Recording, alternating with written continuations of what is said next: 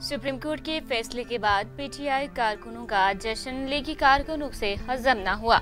नून लीगी कारकुनान ने पाकिस्तान तहरीक इंसाफ के दो कारकुनान को छुरी के वार से जख्मी कर दिया। सुप्रीम कोर्ट के डिप्टी स्पीकर पंजाब असम्बली की रूलिंग का रदम करार देने के फैसले के बाद मुख्तलिफ़ शहरों में पीटीआई कारकुनान ने जश्न मनाया। ताहम सुप्रीम कोर्ट के फैसले के बाद पीटीआई कारकुनान का जश्न लीगी कारकुनान से हजम न हुआ।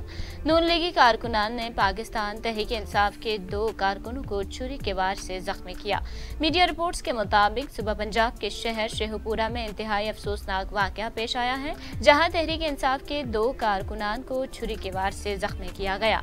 शेखुपुरा में वाक़ बस्ती बलोचा में पीटीआई के दो कारकुनों पर छुरी से हमला किया गया। सियासी जमात के हामी दोनों जख्मी अफराद पीटीआई के जुलूस में शामिल थे।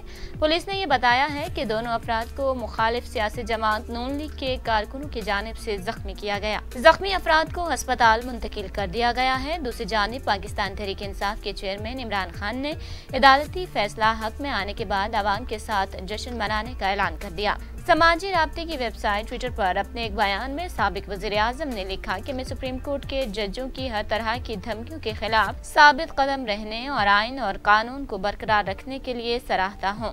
इमरान खान ने कहा कि मैं बैरिस्टर अली ज़फ़र और उनकी टीम का शुक्रिया अदा करना चाहता हूँ। उन्होंने कहा कि मैं दानले के खिलाफ जिमन इंतबात में लातादाद कारकुनान के सामने आने पर पंजाब की आवाम का शुक्रिया अदा करना चाहता हूँ। इमरान खान ने लिखा की बुध की शाम हम अल्लाह का शुक्र अदा करेंगे और पाकिस्तान के के उन तमाम लोगों के साथ जश्न मनाएँगे, जो हकीकी आज़ादी के लिए हमारी मुहिम में हमारे साथ खड़े हैं।